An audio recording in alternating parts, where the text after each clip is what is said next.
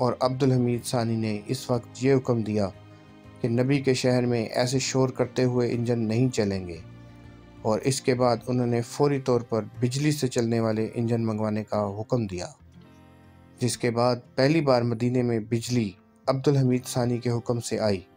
मगर वो बदनसीब शोर करने वाला इंजन आज भी शोर करने के जुर्म में तुर्की रेलवे स्टेशन मदीने पर खड़ा है। अल्लाह ताला अपने महबूब से मोहब्बत करने वाले से मोहब्बत करता है। अल्लाह हम सबको ये शर्फ हासिल करने की तफ़ीक अता फ़रमाए। आमीन।